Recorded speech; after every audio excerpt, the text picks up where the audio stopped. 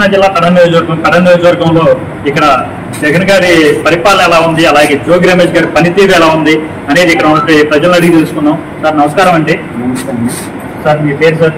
నా పేరు నాగేంద్ర సార్. ఏం చేస్తుంటారు? మీరు? వ్యవసాయం సార్. సార్ ఇక్కడ వ్యవసాయం మరి గిట్టుబాటు ధరలు అవన్నీ బాగానే ఉన్నాయండి. బాగానే ఉన్నాను సార్. సార్ ఏం సార్ మరి ఇక్కడ మీకు ఏదైతే జగన్ గారి పరిపాలన ఎలా ఉందండి ఇక్కడ ఆంధ్రప్రదేశ్? బాగుంది సార్. బాగుందండి. సంక్షేమ పథకాలు అన్నీ అందుతున్నాయండి? అనుకునే సార్. మరి ఏం సార్ ఇక్కడేమో మిగతా ఇతర పార్టీ వాళ్ళు అయితే ఎవరైతేనే కానీ ఏదైనా ప్రజలు కానీ ఎవరైతే మరి జగన్ గారి పరిపాలన అయితే బాగాలేదు అనేసి చెప్తున్నారు. మీరేమో బాగుందని చెప్తున్నారు మరి ఏం సార్ దానికి? అది పార్టీ గురించి చెప్పేవాళ్ళే కానీ ఆ పార్టీలో ఉండి సంక్షేమ పథకాలు జగన్మోహన్ రెడ్డి అందుబాటులో తీసుకొచ్చి అందరికీ ప్రజలందరికీ పేద నిరుపేదలు మొత్తం తీసుకొచ్చి అందిస్తున్నారు సార్. అది లేనిపోయిన పార్టీలు తీసుకొచ్చి ఆయన కొరకు కార్యక్రమం చేస్తున్నారు సార్ అంతే సార్. సార్ మరి ఇప్పుడు రైతులు అయితే ఏదైతే రైతులు ఇక్కడ జగన్మోహన్ రెడ్డి గారి వల్ల మాకు గిట్టుబాటు ధర అనేది ఏమీ లేదు అంటున్నారు. మీరు ఒక రైతే మరి ఇక్కడ గిట్టుబాటు ధర అనేది ఏదీ లేదు. మనం జగన్మోహన్ రెడ్డి గారు వచ్చినాక చాలా ఇబ్బందులు పడుతున్నాం అనేసి రైతులు చెప్తా ఉన్నారు కొంతమంది. మరి దానికి మీరేమంటారండి?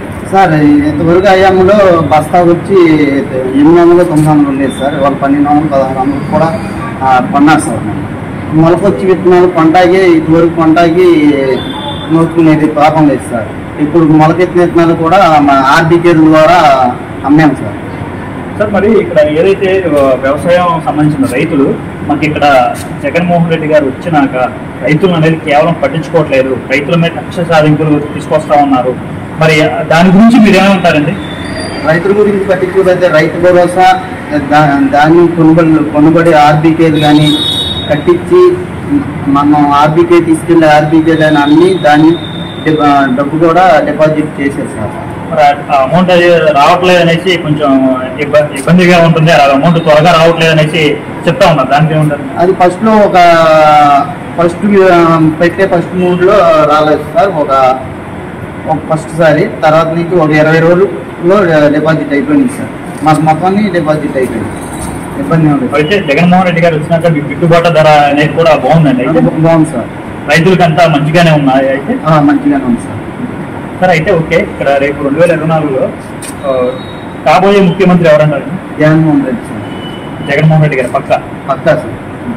సార్ మరి ఇక్కడ రేపు ఇక్కడ ఏదైతే జనసేన టీడీపీ బీజేపీ కలిసి వెళ్ళినా కూడా జగన్మోహన్ రెడ్డి గారు కలిసి వచ్చే అవకాశం ఉందండి? డ్యామ్ వస్తుంది సార్.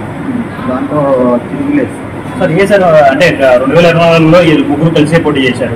అప్పుడు రాలేదు జగన్మోహన్ రెడ్డి గారు. మరి రెండు వేల పంతొమ్మిదిలో విడివిడిగా పోటీ చేశారు. అప్పుడు జగన్మోహన్ రెడ్డి గారు సీఎం అయ్యారు. మరి రెండు వేల ఇరవై నాలుగులో వీళ్ళు కలిసి వెళ్దాం అనేసి అనుకుంటున్నారు. మరి ఈసారి వచ్చే అవకాశం ఉందంటారా సార్? అంతకుముందు చంద్రబాబు నాయుడు పరిపాలన సార్ సంక్షేమ పథకాలు ఇవ్వాలి.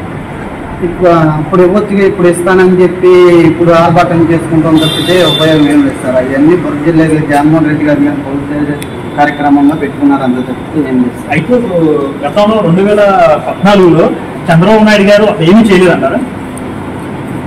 చంద్రబాబు నాయుడు గారు ఏం చేయలేదు సార్. వాళ్ళ పార్టీ వాళ్ళకి సంబంధించి వాళ్ళ పార్టీ జన్మభూమి కమిటీలు వేసుకుని ఆ కార్పొరేషన్ లోన్ ఆ పార్టీ వాళ్ళకి ఇస్తున్నారు కానీ వాళ్ళని చూడలేదు సార్ ఇప్పుడు ఉంది సార్ మా మా గ్రామం ఉంది. మా గ్రామంలో జనసేన లేదు టీడీపీ లేదు. ఆ, వైఎస్ఆర్ అందరికీ సంక్షేమ పథకాలు ఇంటికి ఇంటికి కంపల్సరీగా సంక్షేమ పథకాలు వచ్చినాయి సార్. అక్కడ నాకు మా పార్టీ అధిష్టానం కూడా ఇస్తాం మేము కూడా గుడి చేసుకుని మా పార్టీ మీ మీ కుటుంబానికి మంచి చేసిందా చేయలేదా? అని అడిగే అర్హత కూడా తెప్పించారు సార్ జగన్మోహన్ రెడ్డి గారు.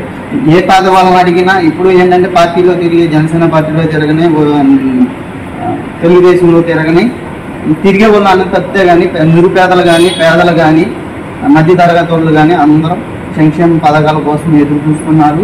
మళ్ళీ కూడా జగన్మోహన్ రెడ్డిని గెలిపిస్తారు. సంక్షేమ పథకాలు ఆయన వేస్తానే ఉంటారు. సార్ అయితే ఇక్కడ మీరు జగన్మోహన్ రెడ్డి గారు సీఎం అన్నారు. మరి ఇక్కడ జోగి రమేష్ గారి పనితీరు ఎలా ఉందండి? బాగుంది సార్. ఏదన్నా పని కావాలని చెప్పి వెళ్ళి ఆఫీస్కి వెళ్ళి కొంచెం ఏదన్నా ప్రాబ్లం ఉంది మా మాకు ఏదైనా ఆపద ఉందని చెప్తే గబాలను స్పందించి నాయకులతో చెప్పించి నాయకులు ఒక నాయకుల వల్ల కాకపోయినా ఇంటికి వచ్చి మా గ్రామానికి వచ్చి పలానా స్పాట్లోకి వచ్చి పలానా ఏం జరిగింది ఏంటని తెలుసుకుని దాన్ని సాగు చేసి వెళ్ళే వ్యక్తిత్వం మనిషి కలవాలి అంటే గతంలో ఇలా ఇలా చేసే ఇలా పని వర్క్ చేసే అభ్యర్థులు ఎవరు లేరంటారా? అసలు రాలేదు సార్. గెలిచారు ఎదుర్కొంటున్నారు కానీ ఎవరు రాలేదు సార్. జోగి రమేష్ గారు మిమ్మల్ని మీకు ఇంటింటికి వచ్చి పలకరించి అలాగే మీకు ఏమైనా సమస్యలు ఉన్నా కానీ తీరుస్తున్నారండి? తీసుకున్నాను సార్. ఊళ్ళో సమస్య అయినా ఒక సమస్య వచ్చింది సార్ మన దగ్గర. వంతిన వచ్చి వర్షాకాలం వంతిన ఇది కొట్టుకుపోయింది సార్. మినిస్టర్ గారి దగ్గరికి ఒక ఇరవై మంది వచ్చి మినిస్టర్ గారి దగ్గరికి వచ్చాను సార్. వాన్లో సార్. వాన్లో వస్తే నేను వస్తున్నా పానా అని చెప్పి స్పాట్లో అక్కడికి వచ్చి స్పాట్లో తుమ్ములు తెప్పించి స్పాట్లో ఎక్కించారు సార్ ఏంటి? ఆ జోగి రమేష్ గారు అదే వర్షంలో స్పాట్ ఇప్పించేసారు ఆన్ ది స్పాట్ ఎక్కించారు సార్. అయితే మరి రేపు రెండు వేల ఇరవై నాలుగులో ఖచ్చితంగా జోగి రమేష్ గారికి గెలిచే అవకాశం ఉందండి? షూట్ సార్. పక్కా. పక్కా. సార్. Okay sir. అయితే అయితే ఇక్కడ కడప నియోజకవర్గంలో మళ్ళీ వచ్చేది జగన్మోహన్ రెడ్డి గారే ముఖ్యమంత్రి అంటున్నారు. అలాగే ఇక్కడ జోగి రమేష్ గారు కూడా ఖచ్చితంగా గెలుస్తారు.